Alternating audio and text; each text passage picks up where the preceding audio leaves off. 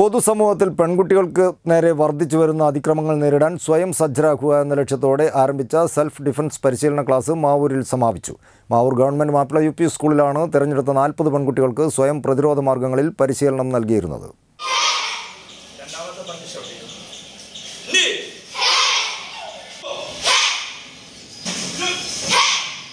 പൊതുസമൂഹത്തിൽ പെൺകുട്ടികൾക്കു നേരെ വർദ്ധിച്ചുവരുന്ന അതിക്രമങ്ങൾ നേരിടാൻ സ്വയം സജ്ജരാക്കുക എന്ന ലക്ഷ്യത്തോടെ ആരംഭിച്ച സെൽഫ് ഡിഫൻസ് പരിശീലന ക്ലാസ് മാവൂരിൽ സമാപിച്ചു. Mavoor government Mappila U P സ്കൂളിലാണ് തെരഞ്ഞെടുത്ത നാൽപ്പത് പെൺകുട്ടികൾക്ക് സ്വയം പ്രതിരോധ മാർഗങ്ങളിൽ പരിശീലനം നൽകിയത്. എസ് എസ് കെയുടെ സെൽഫ് ഡിഫൻസ് പദ്ധതി അനുസരിച്ച് പത്ത് ദിവസത്തെ വിദഗ്ധ പരിശീലനമാണ് കുട്ടികൾക്ക് നൽകിയത്.